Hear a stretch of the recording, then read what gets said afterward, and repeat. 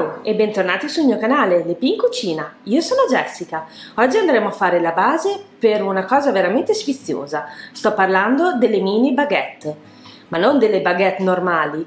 Seguite il secondo video e vi svelerò il segreto.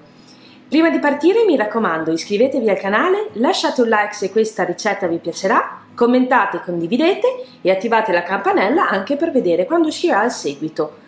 Possiamo partire con la nostra ricetta.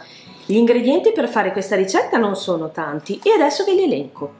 Abbiamo 155 g di farina di tipo 1 adatta per il pane e per le lunghe lievitazioni, con già all'interno 3 g di zucchero simulato che servirà a dare la doratura alla nostra baguette. Un grammo e mezzo di lievito madre adatto per le lunghe lievitazioni, appunto, 3 g di sale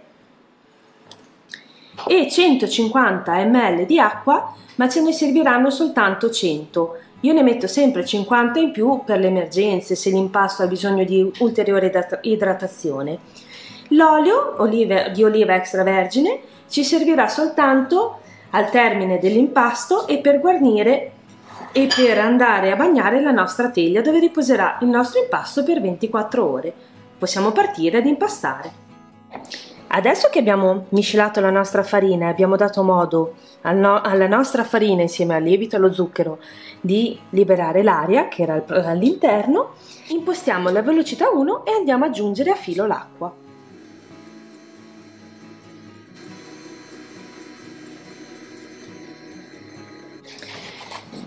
Andiamo ad aggiungere anche il nostro sale e continuiamo il nostro impasto.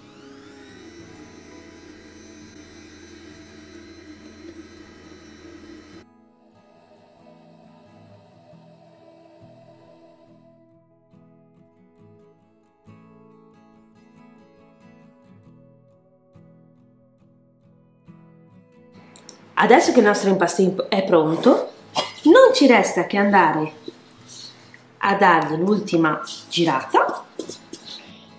Come vedete abbiamo ottenuto un impasto veramente morbido. Non ci resta che chiudere, creare la nostra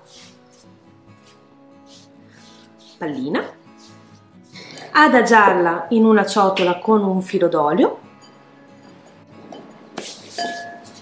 e coprirla con la pellicola.